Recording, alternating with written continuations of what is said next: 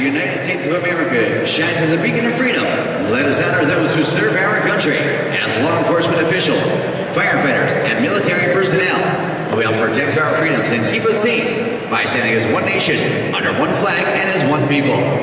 And now please rise and welcome Heather Pangburn as she performs our national anthem.